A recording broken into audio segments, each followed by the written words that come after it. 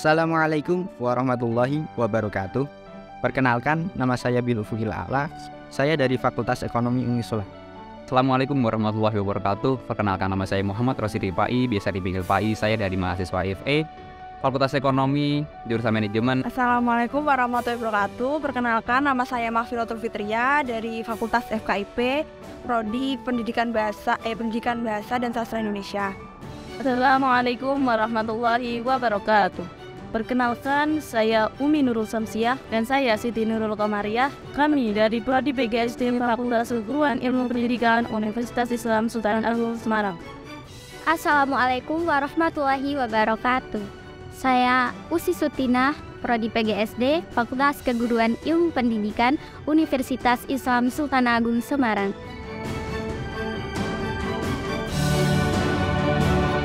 Kesan saya selama mengikuti pesan masa Unisula ini, alhamdulillah sangat baik.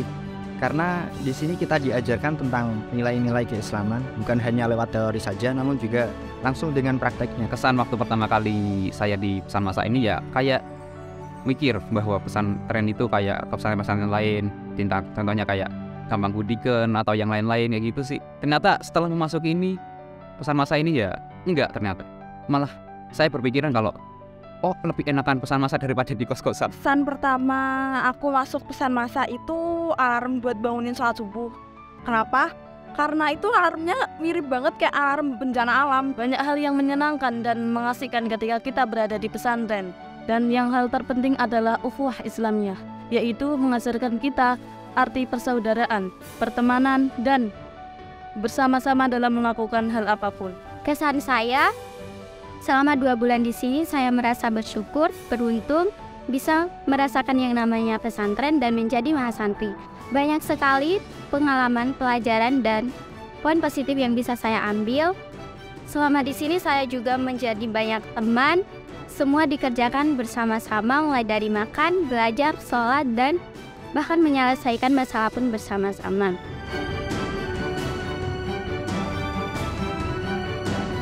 Hal yang paling mengenang buat saya di sini antri makan sih. Soalnya di kos saya nggak terbiasa antri makan yang lama dan panjang banget. Jadi di sini kita diajarkan tentang kesabaran. Waktu pertama kali ya paling mengesankan itu ya waktu pertama kali itu. Contohnya kayak bangun pagi. Bangun pagi itu wah gokil bro. Soalnya waktu pertama kali itu biasanya bangunin kan kayak bro ayo bangun dong. Ternyata ya enggak juga. Waktu itu malah kayak ada perang dunia dua rasanya kayak pesawat tempur Jerman gitu wih wah gokil Nah, yang memorable banget itu kalau Sabtu Minggu kan kita uh, pesan masa kan libur.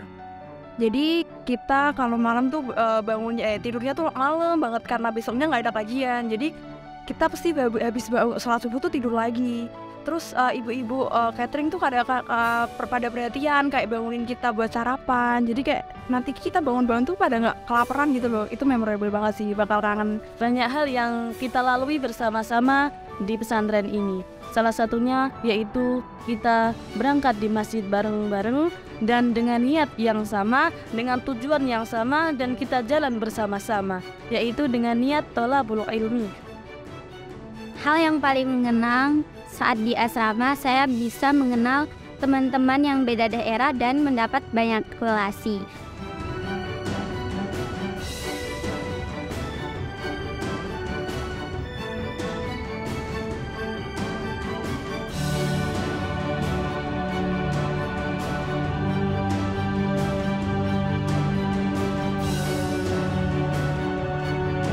Pesan saya untuk semuanya, eh, kegiatan-kegiatan kita di sini, apa yang sudah menjadi habit kita di sini, semoga bisa dibawa dan diamalkan di tempat kita masing-masing. Seperti ngaji ibadah subuh maupun ibadah maghrib.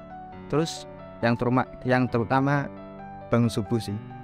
diharapkan ya bisa menularkan nilai-nilai islami kepada masyarakat terutama seperti yang telah diajarkan seperti kajian-kajian setiap malam ataupun eh, setiap tahsin atau ngaji tiap pagi setelah subuh Um, jalanin aja, jangan ngeluh. Dua bulan tuh sebentar. Semangat. Untuk gelombang tiga, pertama, semoga ilmu yang kalian dapatkan di pesantren ini bisa diamalkan dan diterapkan dalam kehidupan sehari-hari. Dan yang kedua, semoga kalian tidak pernah melupakan kenangan yang ada di pesantren ini bersama kami dan bersama para musyrifah dan musyrif beserta ustadz dan ustazah. Pesan saya buat teman-teman yang pesantren nanti, optimalkan waktu sebaik-baiknya.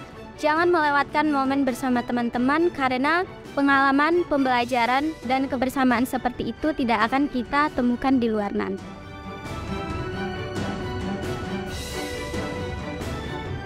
Saran untuk gelombang ke depannya, semoga fasilitas di sini diperbaiki lah.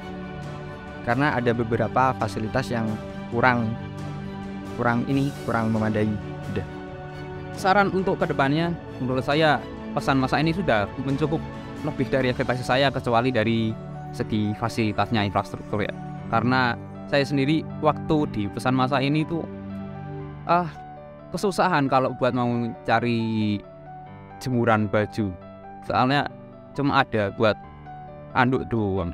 Kritik saran buat pesan masa alarmnya diganti ya itu alarmnya kayak bencana alam serius Untuk pesantren, semoga pesan masa Unisula semakin jaya dan bersinar dan menjadikan mahasiswa Unisula menjadi generasi khairumah dan beretik tinggi.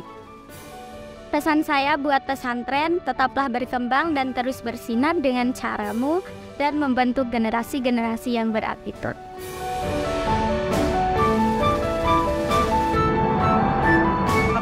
Ngucapin terima kasih buat para kakak-kakak musrifah, terutama Kak Osa yang udah ngebimbing kami selama dua bulan ini. Yang nurut banget ini kan ya kak, aku terutama nurut banget kan. Terus makasih banyak reward-reward yang udah kasih, yang udah Kak Osa kasih ke aku.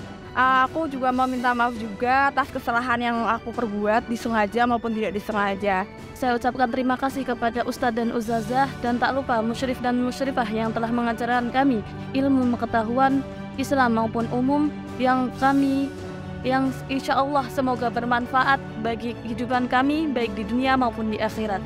Dan tak lupa semoga ukhuwah Islamiyah kita tetap terjaga walaupun kita akan berpisah pada saat ini. Sekian, terima kasih. Assalamualaikum warahmatullahi wabarakatuh. Sekian, terima kasih. Assalamualaikum warahmatullahi wabarakatuh. Billahi taufiq walidayah. Summa assalamualaikum warahmatullahi wabarakatuh.